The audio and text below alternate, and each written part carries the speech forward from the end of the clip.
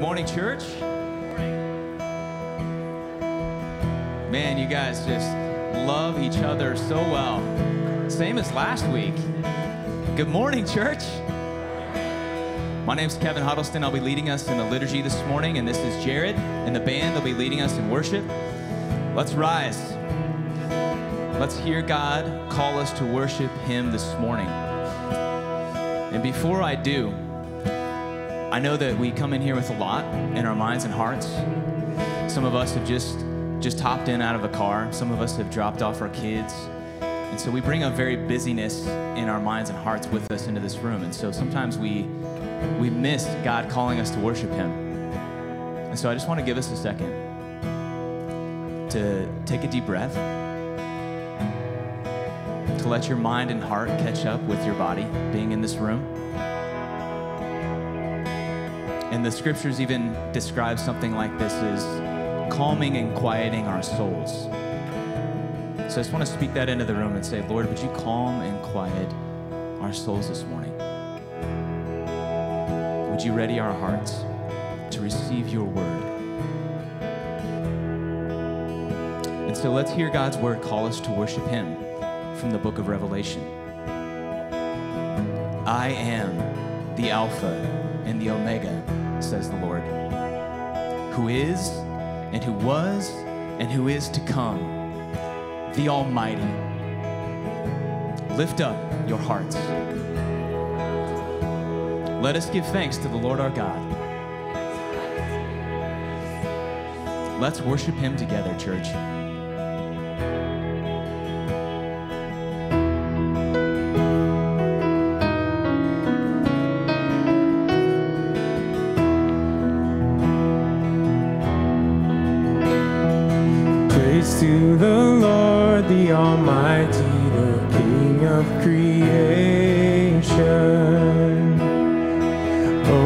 Soul, praise Him, for He is thy help and salvation. And all ye who hear, now to His temple draw near. Praise Him in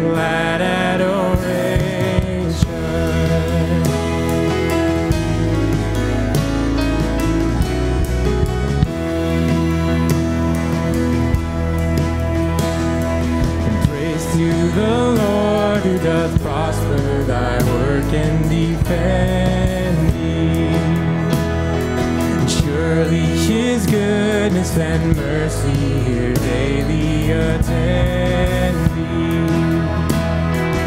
Ponder anew what the Almighty can do. If with his love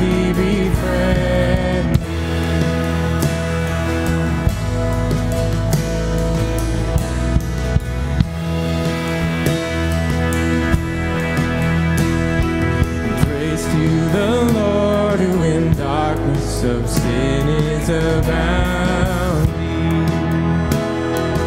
who in the godless to triumph all virtue confounding sheddeth his light chaseth the horrors of night. Saints with his mercy surround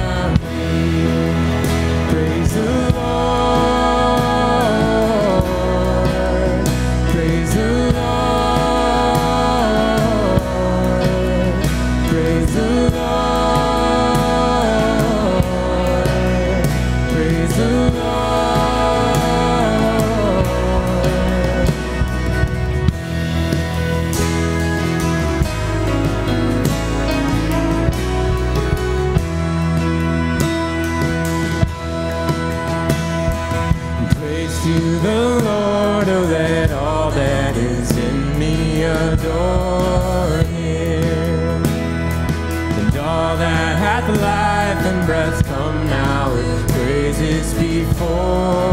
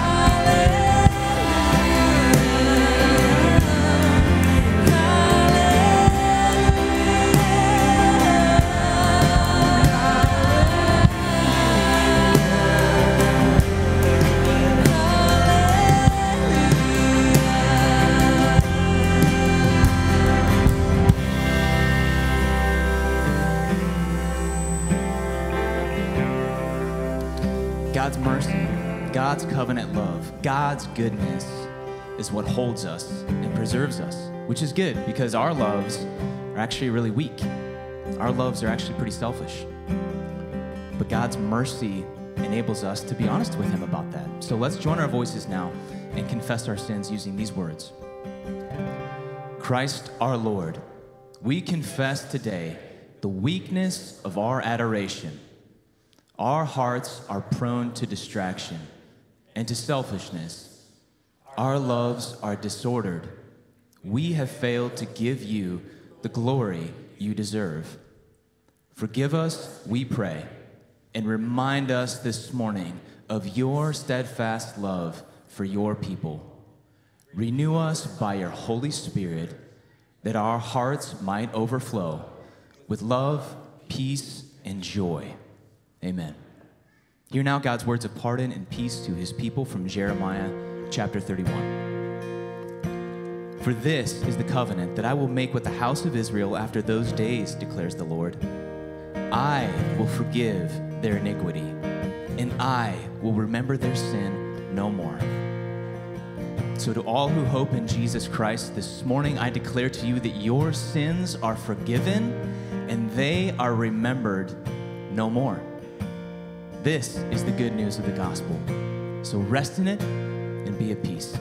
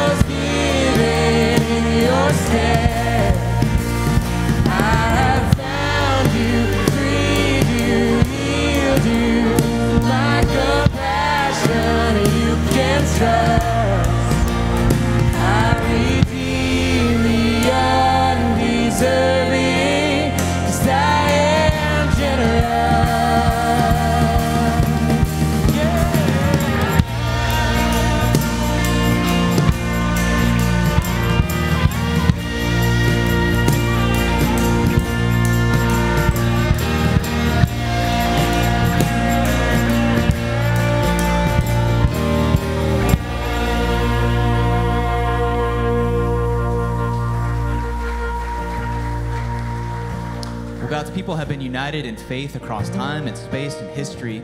And the historic creeds are actually part of the way we express that unity with other believers across time and history. And so today we're going to be using the Nicene Creed and professing our faith using these historic words. So let's profess our faith together.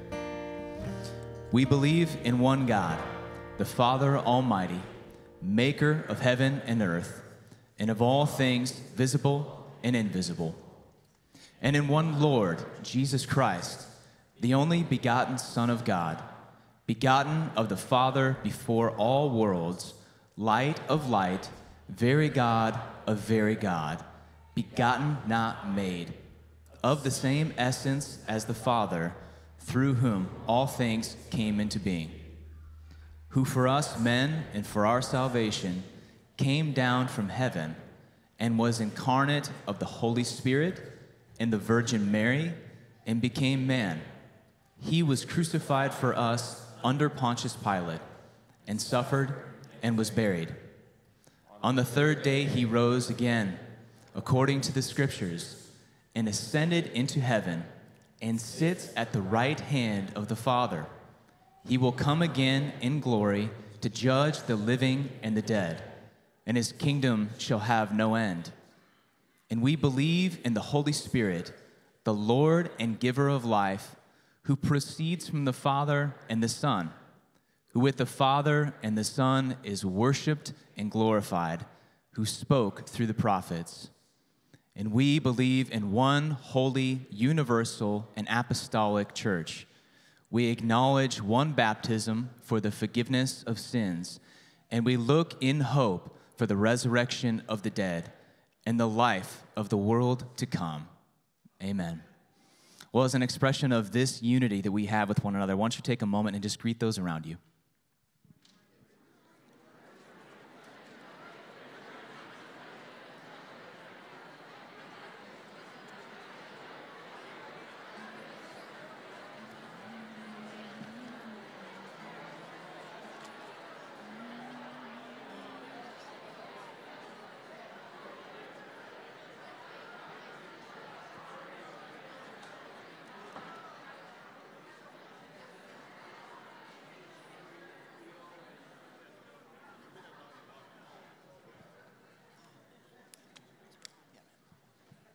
Well, friends, again, my name is Kevin Huddleston. I'm very glad that you're here this morning. And I'm especially glad because you know what I see as I look out across this room? It's not going to surprise you. I see a whole bunch of human beings. Am I right? You're like, wow, shocker. You spent all week working on that line. Good one. No, I say that because as human beings, the beautiful reality of, of us in this room is that we are all unique. We all have different cultural backgrounds and family backgrounds. And really, an easy way to summarize our differences is to say we each have a story. Every one of us brings a different story into this room with them. And so, the beauty of being human is that we are story formed. You've got chapters of your life, of your story that have shaped you. And just like any story, some of those chapters are really rich and beautiful and amazing and fun to retell. And then there's other chapters of that story that are hard, that are dark, that are difficult, that are broken. And when God revealed himself to human beings, thankfully, he also came into the world with a story. Jesus had a story. And that's the beauty of the gospel is that God has come into the world into a story and is remaking the world through the life, death, and resurrection of Jesus. And so the good news of the gospel is that Jesus' story can actually become your story. And that doesn't mean you have to forget your story or leave your story behind, but it means that your story can get brought up in and get caught up in this, story of the gospel. And that story is a shared story. So, in a, in a world that's very individualistic, that wants to talk about you, you matter, but you matter to God and God's people. And so, part of the beauty of being a story form people be, is that you get to be a part of a new community. And in order to get to know other people's story and for your story to be known, Sunday mornings can only really be a, a first step. So we want to invite you to be a part of a community of people so that your story can be known, and not just to others, but also to God. And so let me just share a few ways that you can get better connected to other people and other community at Dale. So first, you can sign up for our weekly email. It goes out every Monday, and you can sign up on the front page of our website, cdomaha.com. Second, you can also text Connect Me to that number you see here on the screen, and that goes to Ryan Meyer. He's our Director of Connections, and either him or someone from his Connections crew will follow up with you this week. And then finally, you can stop by the Connection Desk on the way out uh, in the atrium there. There's a number of volunteers and leaders that have green name tags, and they'd love to, to stop and hear your story and get to know you better and help you get connected. And then finally, as an expression of hospitality, we don't take an offering during the, the gathering in here. Instead, there's an offering box on your way out on the left. And we just trust that if you are a follower of Jesus, if you're a disciple, that you are uh, honoring the Lord with generous giving. And so now we have a chance to pray as a church. And today we'll be praying for the Well Church in Hastings, Nebraska. Pastor Joe Marino, and he specifically asked that I give his personal blessing and greeting to the people of Coram Deo. He's so thankful for your support and friendship and partnership in the gospel over these many years. And so let's pray together for these dear friends in our extended church family. And at the conclusion, we'll uh, actually recite the Lord's Prayer together. So join me now as we pray. Our Heavenly Father, your words remind us that every human being is created in your image, that our diversity reflects your beauty and glory. And so it is with heavy hearts that we actually begin our prayers this morning with lament over the tragic shooting in Buffalo, New York last Saturday. Jesus, would you heal the brokenness of this situation? Would you give hope where there is hopelessness and light in the darkness? And Spirit, bring comfort to the Buffalo community in the coming weeks and months. Lord, may your kingdom come on earth there as it is in heaven. Father, we bring the Well Church before you now. And we thank you that you have established this community in a particular place with a particular people for your particular kingdom purposes. So, Spirit, we ask that you would open hearts in Hastings to the proclamation of your gospel through the Well Church family. In particular, would you enliven their vision for kingdom living through their mission and values sermons? And, and even this summer, as they jump into the Psalms, as we will, would you renew their hearts? Lord, we ask you to bear much fruit and bring many to faith through the well's faithfulness. Father, we thank you for Pastor Joe. We thank you for calling him to Jesus and for equipping him for the work of shepherding your people. In spirit, we ask that you would bring rest and renewal to him, his family, and the entire church family in these uh, coming summer months. Restore to them the joy of their salvation and renew in them a deep, abiding sense of your presence. Finally, Father, we thank you for the ways you've established this church. And Lord, we ask you to continue to make it sustainable for the long haul. We, we long for decades, not just days, for this church family to be salt and light and Hastings. And so, Lord, please give them their daily bread regarding things like facilities and finances. We know that walls cannot contain you and money is not our master. But Lord, we ask you to graciously pour out your provision on this church. We humbly ask you to bring them to a place of financial sustainability this year, if it be your will. And now we pray together as your church. Our Father, who art in heaven, hallowed be your name. Thy kingdom come, thy will be done, on earth as it is in heaven. Give us this day our daily bread, and forgive us our debts, as we forgive our debtors. And lead us not into temptation, but deliver us from evil. For thine is the kingdom, and the power, and the glory forever. Amen.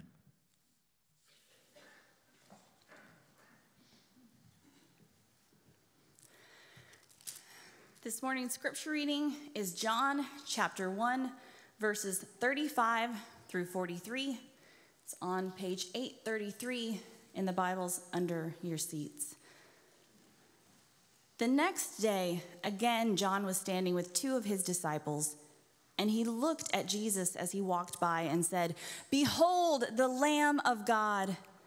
The two disciples heard him say this, and they followed Jesus. Jesus turned and saw them following and said to them, What are you seeking? And they said to him, Rabbi, which means teacher, where are you staying? He said to them, Come and you will see. So they came and saw where he was staying, and they stayed with him that day, for it was about the tenth hour. One of the two who heard John speak and followed Jesus was Andrew, Simon Peter's brother. He first found his own brother, Simon, and said to him, We have found the Messiah, which means Christ. He brought him to Jesus. Jesus looked at him and said, You are Simon, the son of John. You shall be called Cephas which means Peter. The next day, Jesus decided to go to Galilee. He found Philip and said to him, Follow me. The word of God for the people of God.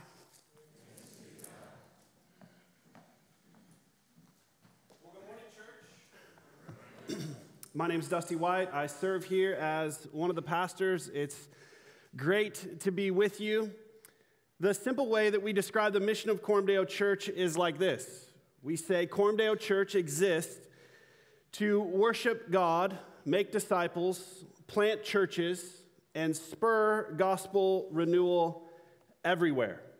And today, I want to talk about that little phrase, make disciples. Just that little phrase. What does that mean, and why is that essential to Christian faith? When I was uh, first starting off in ministry, I had landed an internship at a nearby church. And uh, my goal in this whole internship was to just get my feet wet in ministry, to check it out, and to learn as much as I possibly could. And one of the things that I wanted to do was I wanted to be discipled. Uh, I had had some discipleship along the way from some people who had definitely invested in me, but I'd never entered into kind of this free rein discipleship relationship where I just said, hey, I need somebody to disciple me. So I went into a, a pastor's office at that church that I trusted, and I said, Hey, I need to be discipled. And I was in my young 20s, and he probably thought, Yeah, you do. That's a good idea. And so he listed three names of some gentlemen that, uh, that were in the church. Two of the guys I knew. So I picked the guy I didn't know at all. I just thought, well, I'll be risky. I was a lot more risky then than I am now. And so I got his number, I called him up, he agreed, I told him my intentions, and uh, he told me where to meet him. I met him at his place of business. He owned a tire shop uh, here in Omaha. Uh, I showed up. I was directed uh, upstairs, I believe. As I remember going up these stairs to his office. We had never met. We chatted for about 15 to 20 minutes, and then he handed me a pair of leather work gloves, which were, by the way, the best leather work gloves I've ever owned. I've yet to find good, hardy leather work gloves like this guy had given me. And uh, he handed me these work gloves, and we went outside and we proceeded uh, to roll big semi tires around for the remainder of the day. It was a few hours, if I recall. And I remember thinking, I was looking for some sort of like spiritual investment. I had no idea that I was going to be slinging tires around all day. And that's what we did for the rest of that day. I did it a few times with him. I remember thinking, this isn't exactly what I was looking for, but it was discipleship in his world. Uh, at other times, we would sit in his truck and we would talk about life. We would talk about the scriptures. Sometimes we would pray together. Sometimes I was invited to his home.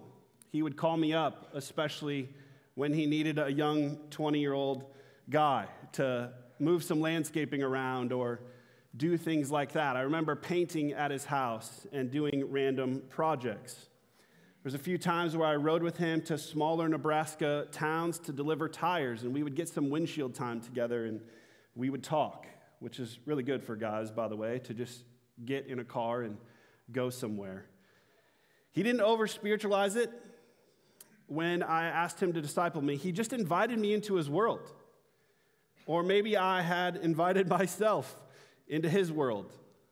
Uh, by proxy, I had learned a lot about business and I learned a lot about finance. I learned a lot about how to honor money and how to honor the Lord with my money.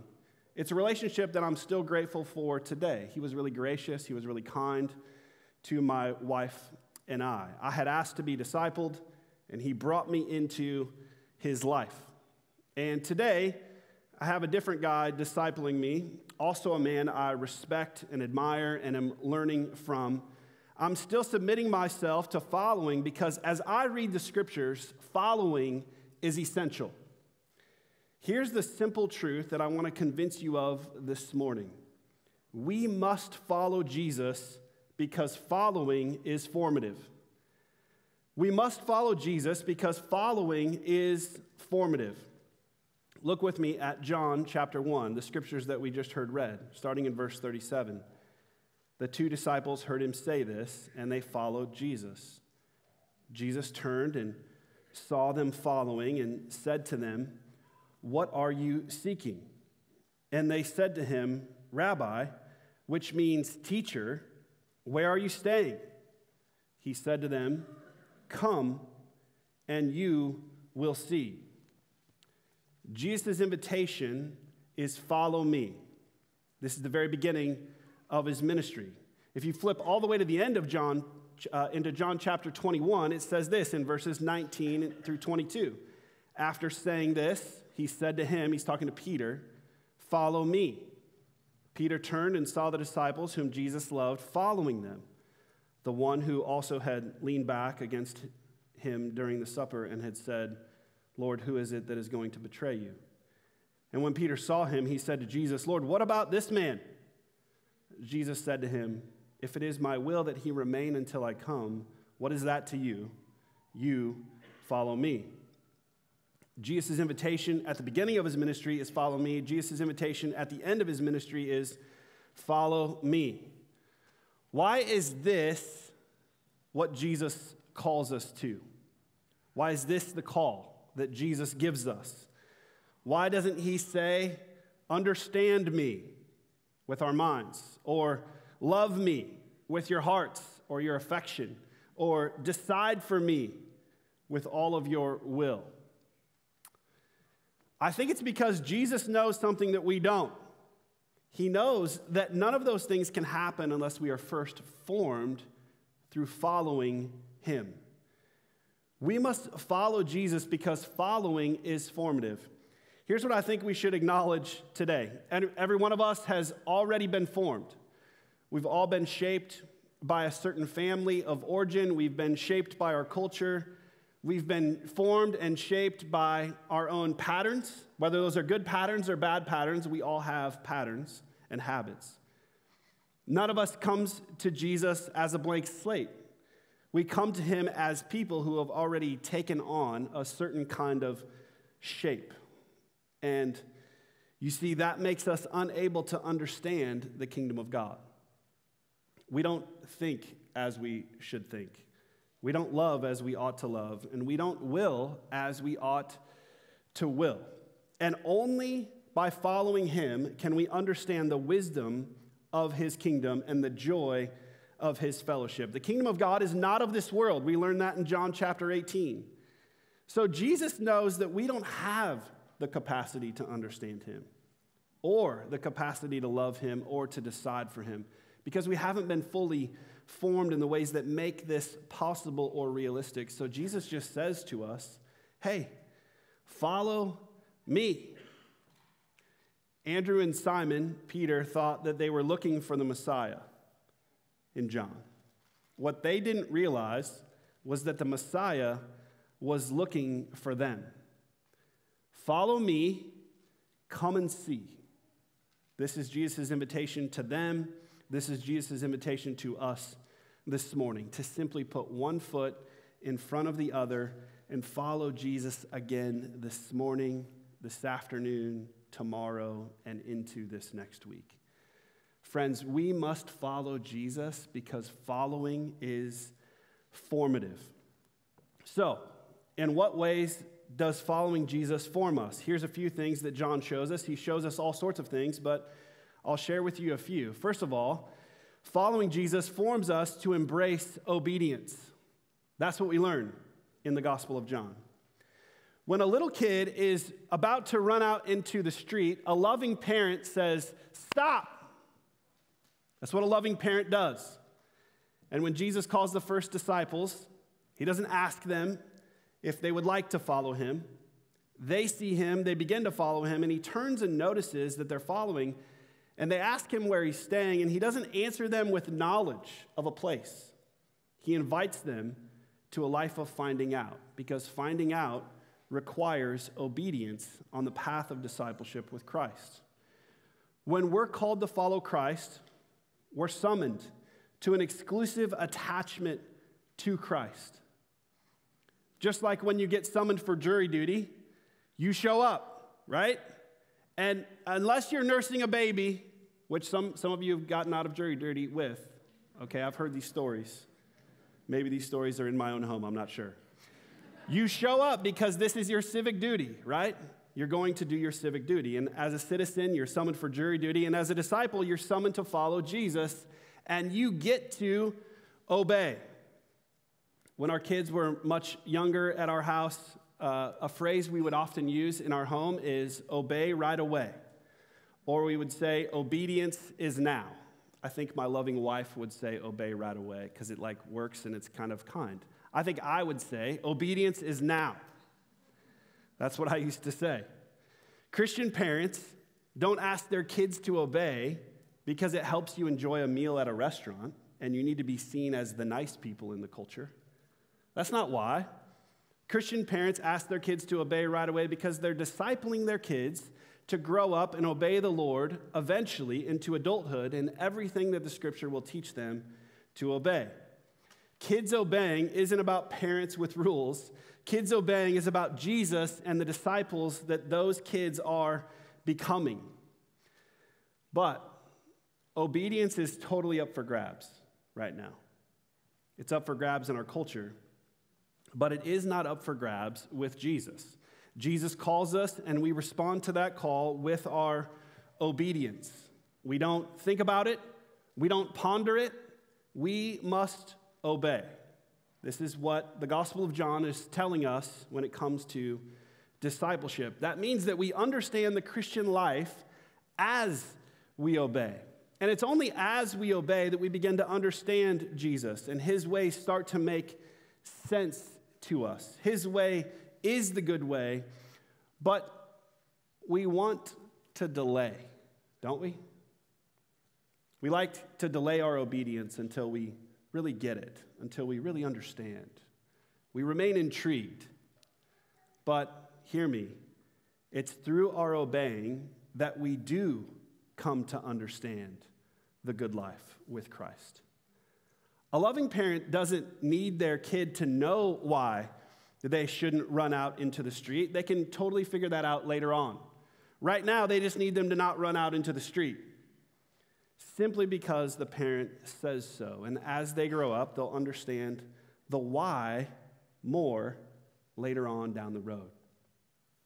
Listen to Bonhoeffer on discipleship. He says this With an abstract idea, it is possible to enter into a relation of formal knowledge, to become enthusiastic about it, and perhaps even to put it into practice but it can never be followed in personal obedience.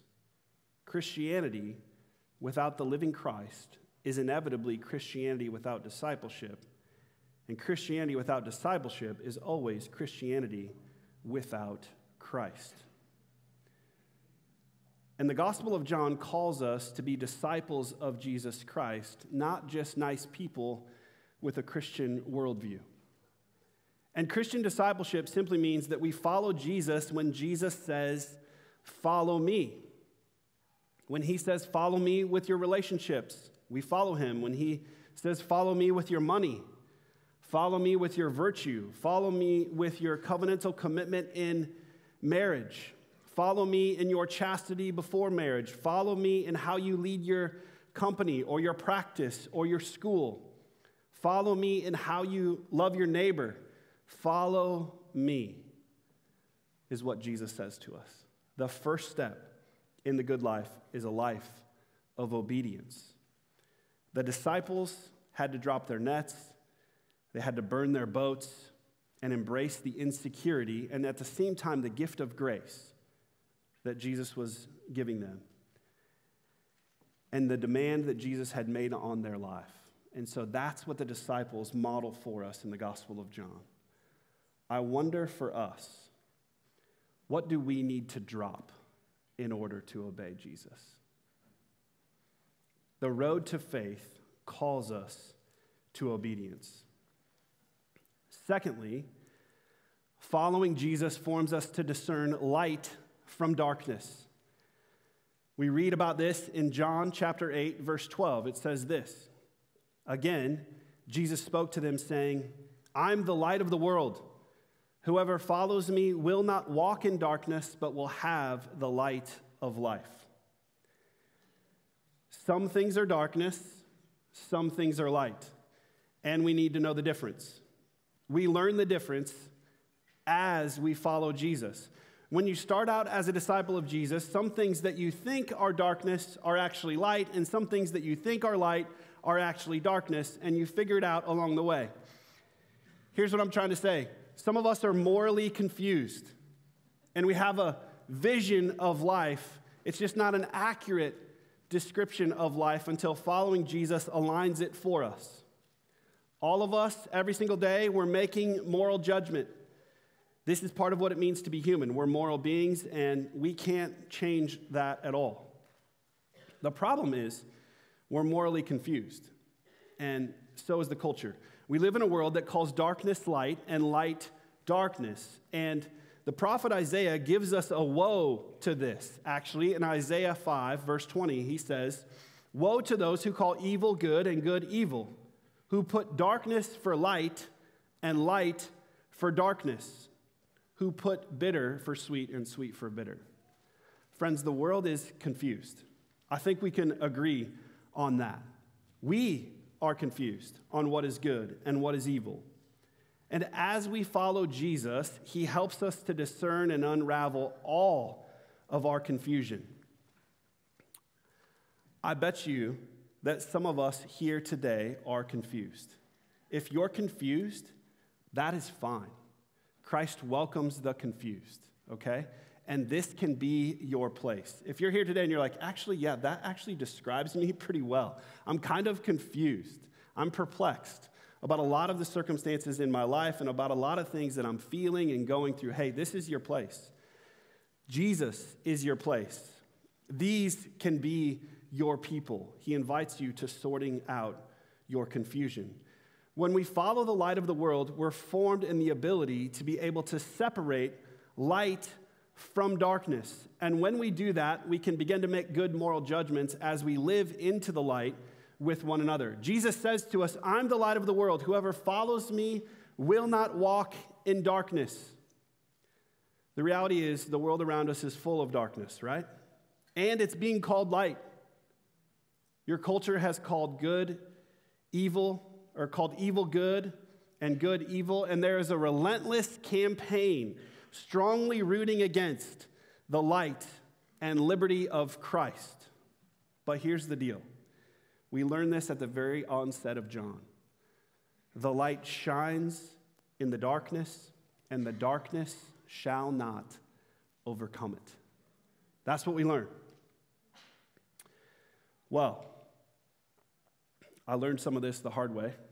Uh, I had been a Christian for only a, a couple of years, okay, maybe more like four years at this point. And my wife and I were uh, living in the San Francisco Bay Area. We're doing some ministry. I shouldn't say that part because this makes the story worse.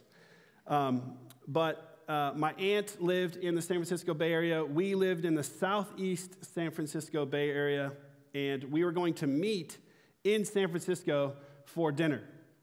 She wanted to take us to this restaurant that she had been talking about, and so uh, it had been like a hectic day of some sort. I'm not exactly sure why, but my wife helped me discern darkness and move towards light. Here's why. We had basically left our house in the southeast San Francisco Bay Area. Now, if you've been there, you know that traffic is really unpredictable. You can make plans all you want, but basically, you're just going to get there when you get there, okay? And we had basically left about five minutes prior to when we were supposed to be meeting at the actual restaurant. Okay? It's not gonna work. So, we get in the car, we look at each other, and this is not gonna work. So I call my aunt and I say, hey, we're running behind, we're on our way, we'll be there shortly, or something like that. Something not true is what I said, okay? And I hang up the phone, and my wife says, Why did you do that? Why did you just lie like that? And she was absolutely right. And we were absolutely late to the restaurant. Some of you are already thinking, like, if, if I have an appointment with this guy, what's going to actually happen? My wife had called me on this deceit because I had just, nobody had to teach me how to lie. I mean, nobody had to teach you how to lie. And uh, the family of origin that I grew up in, this was pretty natural. To this day, because of the shift from deceit to truth, I try to be super accurate about my whereabouts and how long it's actually going to take me when I'm headed somewhere. So if I'm leaving, I'm leaving. If I'm on my way, I'm actually on my way. It's one of the ways that in this very moment in the San Francisco Bay Area that's been transported into my life 20 some years later. Because of the ways that I was formed in my family, because of the ways that I've had to submit my life to Christ, this is one of the ways that I have to practice godliness and virtue is just be very explicit with telling the truth. Because as we follow Jesus, we're formed to discern light from darkness. And this light is actually Jesus Christ himself. He is the object of our faith. So we follow him wherever he takes us, not wherever we want. He becomes our inner possession. We have him. He abides with us. We abide in him. He is the light of life. and the life itself is the light of life. So, friends, following Jesus helps us to discern light from darkness. Third, following Jesus forms us to understand true freedom. There's true freedom and there's false freedom. And following Jesus brings us to our senses and allows us to experience actual, true freedom. John chapter 8, verses 31 through 32. So Jesus said to the Jews who had believed him, If you abide in my word, you are truly my disciples, and you will know the truth, and the truth will set you free. Now, the world's definition of freedom is the absence of constraint. And we've come to believe that to be free means no one gets to tell me what to do. No one should put constraints on me. No one should stop me from doing whatever it is I desire to do. The culture's taught us to see freedom as freedom from. Freedom from authority, freedom from limitation, freedom from my own body and the constraints that it places upon me. But, friends, you see, true freedom isn't freedom from, it's freedom for. You're only free if you're free to give yourself for others in the ways that God has designed you to give yourself away. Single or divorced people, come along with me on this analogy, even if it doesn't apply to your current circumstances. But here's the thing Christian marriage is freedom for. The world asks, why would you want to get married? Marriage is restricting. Marriage is going to lock you up. Marriage, marriage is going to lock you up relationally, it's going to lock you up sexually, it's going to lock you up financially. Why would you want that? Here's why people who want to experience true freedom in marriage want that because inside the fence of Christian freedom or Christian marriage is immense freedom. It's not constraining, it's freedom. Once I'm bound to one woman or one man, I'm free to love that person with all that I have within me and then relate to other people as brothers or sisters in Christ or neighbors. It's not constraining, it's actually freedom. The covenantal bond of Christian marriage is just that it's a covenant between a man and a woman with God as the overseer. It's a bond. And that binding creates freeing exhale to be who I really am, to be loved and to love for who I really am. It's a bond when I'm sick and when I'm dying, or when I'm healthy and when I'm thriving. It's a bond that creates immense relational freedom. There's less fret for who you need to present yourself to be, and there's more freedom for who I actually get to be and can be because it's a sanctifying institution as well. And that's the way that God has set it up. So, marriage is freedom for. If I buy into the culture's definition of freedom, I'll never actually be free. Hear that? If you bind to the culture's definition of freedom, you'll never actually be free. But if you follow Jesus, you can live into and experience true freedom. Jesus is saying to us in these verses that the truth will set us free. That means, friends, that when we follow him, he, he helps us, he assists us, he comes alongside of us, and he helps us to understand true freedom. The world's freedom is an illusion. It keeps us entangled in our suffering and in our sorrow. But when we follow Christ, our suffering and our sorrow has a place. And the way of Jesus leads us into freedom. When we follow Jesus, we can be truly in the world without being of the world or bound to the world. We get to move freely without false attachment. We get to speak freely without fear of human rejection. And we can live with peace and joy even when you're surrounded by conflict or sadness or tension. The freedom that Christ offers us is a freedom that moves us away from our fear, from our compulsion, from our resentment and our sorrows. And it invites us to live in freedom with God with joy, and with courage in the world. The freedom that Christ shows us in the face of God is that we can be truly free in Christ in the midst of a real hardened world. And this freedom, friends, puts our skills, it puts your life on display to a watching world desperately scrounging for hope and for lasting true freedom. It's what your neighbors want. It's what your coworkers need. Jesus said to his disciples, So, if the Son makes you free, you will be free indeed. He says the same thing to us today. Only as we follow him can we truly be free indeed. We must follow Jesus because following is formative. I obviously have an agenda here this morning. The agenda is simply this I want you to follow Jesus, I want you to be a disciple of Christ. But if you wait, if you wait until it all makes sense, until you, if you wait until all your questions get answered, or all your loose ends get tied up, you're never going to follow him. His kingdom is not of this world, so it doesn't make sense to our natural minds. What you got to do instead, what you have to do, is what Andrew and Simon did. You just got to get up, you got to drop your net, you got to burn your boat, and you got to follow him. Because following him is formative, and only by following in the way of Jesus will the kingdom of Jesus start to make sense to you.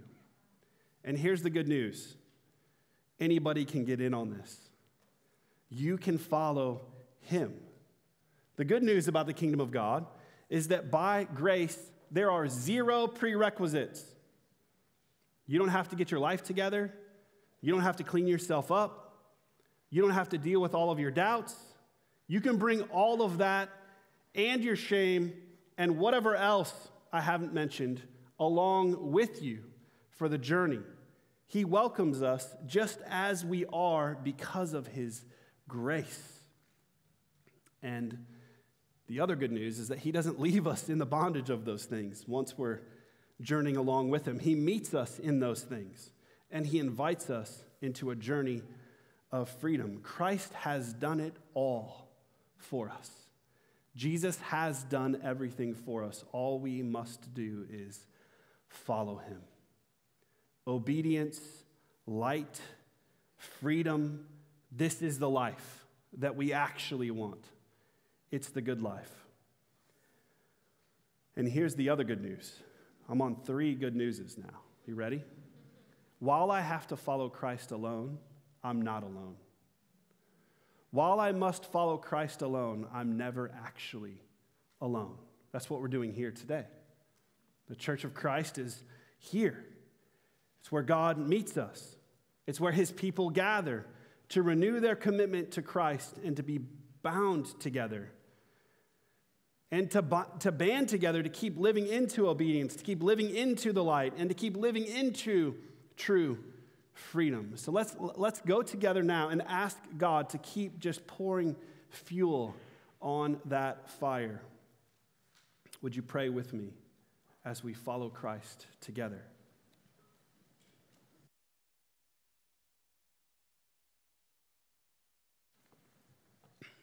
Lord, we acknowledge right away that we don't always follow you. We know that following you is the good life, and yet we are so distracted. We're prone to other loves, we wander. Would you rekindle our love for you and for the good life? Would you rekindle our love for obedience? Would you move us from darkness to light? Would you move us from false freedom to true freedom? Pray for my friends here who have yet to obey you, have yet to walk in the light, and have yet to experience true freedom. Would you give it to them now? Would they today decide with everything that they have within them, but mostly because of just your grace to them today and the grace of this word in John 1, in John 8, in John 21, that you invite them to just follow you and you will meet them along the way. And Lord, for us who have been following but have wandered, would you rekindle us now, even as we come to the communion table? Realign us, reorient us, and help us. We pray these things in your Son's good name. Amen. Well, friends, Jesus Christ now invites us to his table. So, let all sinners who are grieved and humbled by their sin, let all the weak who need their faith to be strengthened, let all who love the triune God yet wish to love him more come now to the table of our Lord. The scriptures tell us that on the night that he was betrayed, our Lord took bread and broke it and he said to his disciples, This is my body, which is given for you. And likewise, he took a cup and he said, This is the new covenant of my blood. Drink of it, all of you, in remembrance of me. All who come to this table should come in humility and self examination, because these are holy things for holy people. Those among us who have not yet come to Jesus in faith and baptism should not yet partake, but instead use this time as prayer and reflection.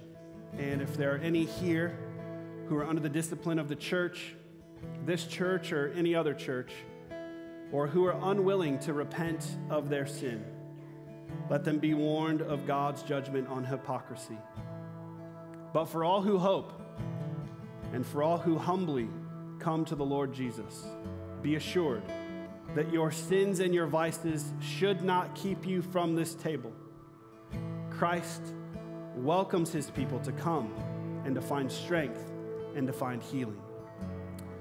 The way that we practice communion here at Coram Deo Church is you'll come out of the left side of your section, come down, a server will place bread uh, into your hands, and then you can take uh, a cup of wine or juice from this table and proceed down the right side of your section back to your seat, and you're free to partake of that communion, those communion elements anytime during the service. If you need a gluten free option, that will be available at the back of the sanctuary. And if you're in the balcony, feel free to come forward and receive and make your way anywhere you want to take communion. Come now as you are ready.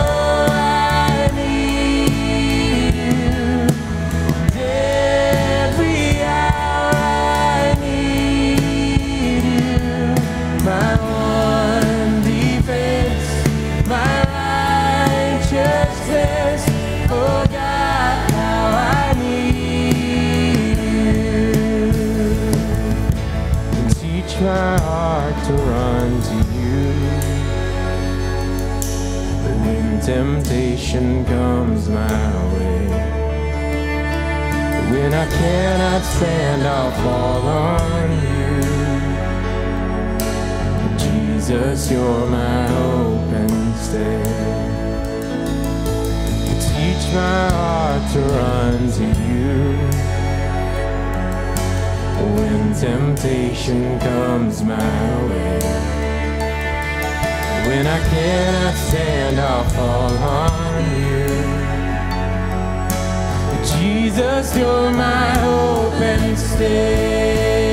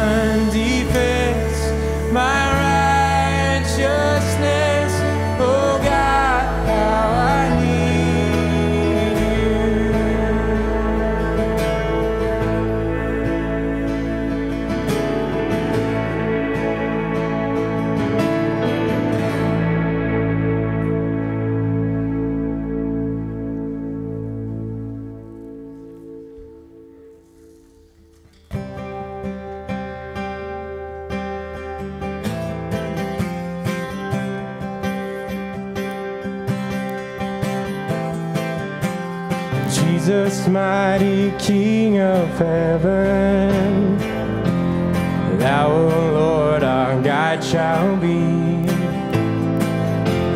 Thy commission we rely on. We will follow none but Thee.